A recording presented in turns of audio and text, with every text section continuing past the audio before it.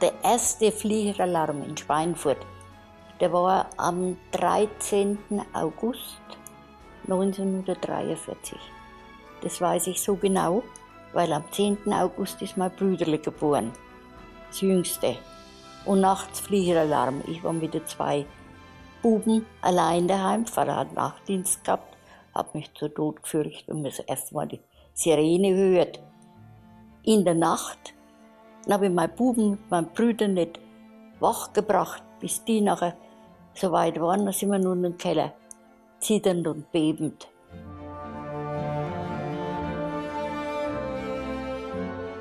Ich war ja dann schon 17, 18 und da hat man sich schon Gedanken gemacht, ja, dass, äh, äh wie man das überlebt. Wir waren ja damals alle in der Pfeifeschule, 500 Kinder sowas und waren unten im Keller und mussten unsere Schwämme, ne, hat ja noch Tafeln gegeben und, und, und Schwämme, die musste man nass machen und haben sie vor den Mund halten müssen, dass wir nicht erstickt sind. Und, äh, und dann waren wir da drinnen und dann hat es geheißen, ja, äh, wir kommen da nicht mehr raus. Der Krieg hat für mich äh, in der Weise begonnen, dass mein geliebter und verehrter Lehrer der ersten Klasse, der mich also gerade noch als Schulkind aufgenommen hatte, dass der eines der ersten Kriegsopfer war. Er ist als Panzeroffizier in Polen gefallen und das war für uns Kinder ein riesiger Schock. Die Folge davon war, dass wir von dem Tag an, als er einberufen wurde, in das zwei Kilometer entfernte Nachbardorf täglich zur Schule hin und zurück laufen mussten. Wenn dann der nächste Angriff, man hat nur Angst gehabt vor den Flie die Fliegerangriffen. Die waren so brutal. Also war da äh, nachts im Bett gelegen und die Sirene ging los. Nachts. Das war nachts was ganz schlimm. Ne? Man ist nur gerannt, man ist nur um sein Leben gerannt. Wenn man so sagen.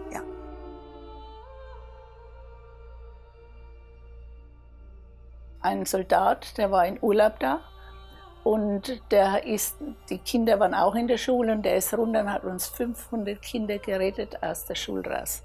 Der hat dann wie Kommando gegeben, wir haben wie, auf, wie beim Militär gehört, hat immer gesagt, so zehn Mann und dann wieder raus und runter im Berg. Ne? Bis er alle Hausen gehabt hat.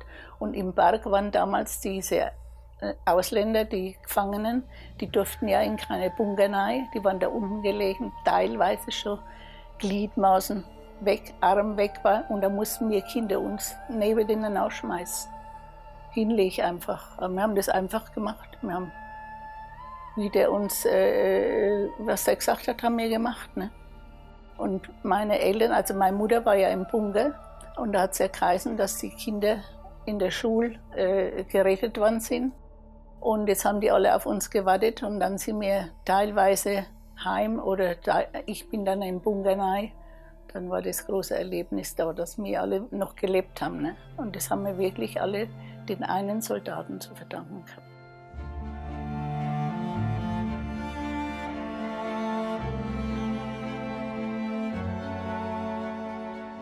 Wo die ersten Kriegstage rum waren, waren Luftschutzübungen. Da sind die Frauen hauptsächlich die sind abends zusammengekommen, im Schulhof ist das gemacht worden. Der Luftschutzwart, der hat dann so kleine, weiß nicht was es waren, so Raketen oder was angebrannt. Und dann musste man das Löschen üben. So, das war ein Stiel und unten eine Querlettle und dann waren so Stoff dick gestippt dran genäht zum Ausquatschen vom Feuer. Feuerbritschen haben wir gesagt dazu. Und dann war der erste Angriff auf Schweinfurt, äh, bei dem ich zufällig mit Mutter und kleiner Schwester in Ostheim vor der Rhön war und an einem wunderschönen, warmen, wolkenlosen Augusttag waren wir zum Heidelbeersammeln im Wald und haben da miterlebt, wie äh, Bombengeschwader, äh, eines nach dem anderen, aus Richtung Schweinfurt kamen. Die Leute, die da gewohnt waren, haben alle eine Zelle bekommen. Da haben wir halt ein bisschen Wertsachen rein. Schmuck und ein bisschen Kleidung. Und dann, äh, wenn Fliegealarm war, sind wir halt da rein. Also in, in Eile immer Tempo, Tempo. Und ich muss sagen, die Männer waren sehr rücksichtslos. Viele Männer, so, also die, haben, die wollten zuerst rein. Ne? Ja, und der Eingang, wissen Sie, ist ja nicht groß. Ne? Der Eingang ist nicht groß zum, zum Bunker. Ja. Ja. Ich weiß nur, dass wir uns schon mit Kleider auf dem Bett gelegt haben, weil es geheißen hat, da schon da stehen gehabt. Ne? Und wenn der Alarm losgeht, dann schnell, schnell, Bunker. Und dann waren wir vor der Tür gestanden. Dann waren ja Massen vor der Tür gestanden. Ne? Wir waren Kinder, wir sind ja halb erdrückt worden, dass wir da reingeschoben worden sind. Das war furchtbar. Ne? Zu meinen Aufgaben hat gehört, dass immer bei Voralarm ähm, ich dafür zu sorgen hatte, dass im Obergeschoss alle Fenster geöffnet sind und die Fensterläden geschlossen, wegen des Luftdrucks und der, äh, der Fensterglas war ja auch ein, ein, eine Mangelware. Und außerdem war meine Aufgabe, immer die Badewanne voll laufen zu lassen mit möglichem Löschwasser. Ernst ist es für uns erst wann beim ersten Angriff. Und das war der 17. August 1943. Und dann beim ersten Angriff, da war ich nicht da, da war ich in Ferien bei meiner Großmutter. Die wohnt in Langheim, das ist bei Kitzingen da unten. Und da waren wir am Feld und da sind die Bomber oben drüber tief geflogen. Aber an Schweinfurt haben wir nicht gedacht. Und dann hat man es auch bis dorthin rumpeln gehört. Und dann später ist noch einer gekommen auf dem Feld und hat gesagt, habt ihr gehört? Schweinfurt ist auch gegriffen worden. Und ich habe ja gewusst, mein Vater hat Dienst. Da sind wir gleich, meine Cousine und ich, zum Bahnhof gerannt, haben den Eisenbahner gefragt, sagte, ja, Schweinfurt ist nur Rauch und Asche, man sieht gar nichts. Und der Bahnhof ist total zerstört. Mein Vater hat auch wirklich Dienst gehabt, war drin verschüttet, konnte sich aber selber wieder befreien.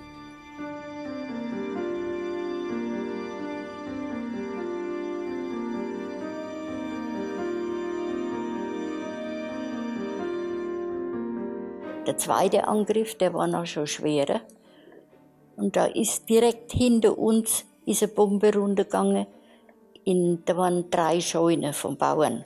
Und die haben natürlich sofort Lichterloh gebrannt. Und der Angriff, der war scheußlich. Da waren wir im Keller gesessen und haben gesagt, nie mehr im Keller. Da hören Sie, wenn die Bomben fallen, erstens schon mal das Rumpeln und spüren es.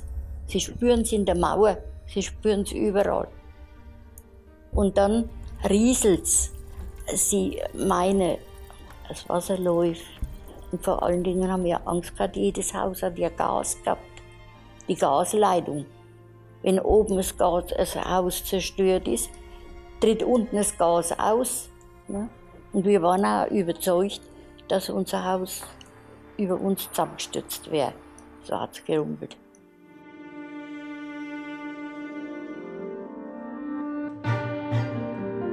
Da waren so Luftschutzwarte da, ja, die da äh, auch für Ordnung gesorgt haben, dass nicht so ein Chaos entstanden ist. Das waren Männer, die halt nicht, die halt zu Hause waren und nicht an der Front, ne? Ja. Wie halt ein bisschen Ruhe war. Mein Vater hat gerade dienstfrei gehabt und da war noch ein alter Mann da im Haus. Die sind nachher rauf, ein Stückchen die Treppe hinaufgekommen, sind sie schon wieder gekommen. Es kommt noch eine Welle. Es ist noch einmal eine Welle drüber gegangen mit Bomben. Wir haben wirklich nur Angst gehabt. Ne? Wenn es losgegangen ist, die Sirene, das war ja grausam, ne? dann hat es geheißen, ab, ab, schnell. Ne? Und dann, bis wir zum Bunker gekommen sind, da waren ja schon Schlangen gestanden. Es hätte ja passieren können, dass vor dem Bunker noch einmal eine Bombe rein wäre. Ne? Nur unsere Familie, die war nicht groß, die Zellen. Die waren nicht groß. War gerade so, dass man sich hinsetzen, so eine Holzbank, ne, dass man hinsetzen kon konnte, aber Platz war da nicht viel. Wir waren halt dort drauf gesessen und ja. alles, was dort in der Nähe gewohnt war, die waren ja alle da drin, die Menschen. Also nachts, mal sagen. Ich rede jetzt von nachts. Ne? Und am Tag durften wir ja von Sachs raus in den Bunker rein. Also da waren ja noch viele, äh, die gar nicht da gewohnt waren, waren alle in dem Bunker. Ne? Ja, und dann ist der Bunker, ist der Sachsbunker gebaut worden im Werkspark. Da durfte man nicht mehr raus. Da musste man dann in den Werksbunker rein. Ja? Da waren noch gar keine Türen dran und nichts. Also es war, ja. Und dann auch viele Zwangsarbeiter aus Russland, junge Leute, die mussten warten, bis wir alle drin waren und dann erst durften die rein, ja. Und wie wir dann rausgekommen sind, da war vor uns eine Feuerwand. Die Scheune da hinten, die haben dermaßen gebrannt unter Hitze. Das ist wie eine Glut auf einen zukommen. Und aus der Scheune, da hat es die Stroh, früher hat man ja noch nicht die Strohpressen gehabt, sondern das waren Garben. Und so ganze Garben brennend sind da hoch über die Häuser rauf runter und brennend nach runtergefallen. Ne? Dann haben halt die Männer und auch die Frauen versucht, im Hinterhaus noch irgendwas rauszubringen. Wenig Geschirr, ein wenig Möbel und aber das hat nachher so arg gebrannt. Dann haben sie unser Vorderhaus eben mit den Handspritzli nass gehalten, damit das nicht anbrennt. Und nach einer Weile haben sie gesagt, also jetzt brennt jetzt müssen wir doch unser Haus ausräumen. Alles, was man zum Fenster rausschmeißen konnte, ist rausgeschmissen worden. Hat man schon die Treppe nicht gebraucht. Möbel runtergezerrt. Und dann haben sie aber gemerkt, dass eigentlich nicht das Haus gebrannt hat, sondern das Wasser in der Dachrinne hat gekocht.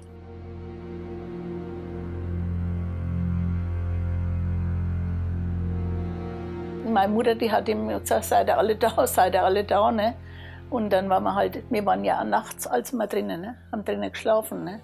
Und es war ja das, äh, die Ausländer, äh, mein Vater hat ja viel Ausländer unter sich gehabt, ne? wo arbeiten mussten. Und der hat ja dann auch oft einmal so Lieblings, äh, wo er mitgebracht hat, wo er eingeschmuggelt hat. Ne?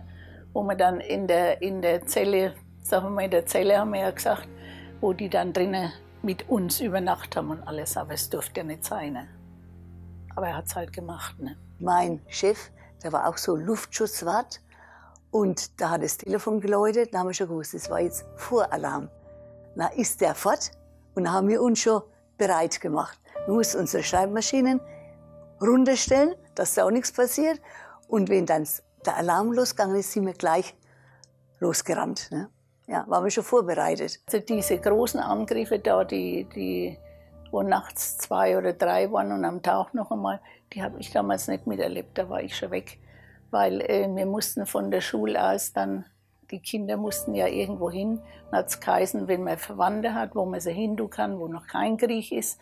Und meine Mutter war ja Sächsin, die war ja von Sachsen. Und da musste ich nach Sachsen rein und äh, bin allein habe ein Schild rumgehängt gekriegt, im Zug gesetzt und ab nach Zwickau. Und ich hatte ein Fahrrädle, das nicht äh, kein ganz großes war, aber auch kein so kleines.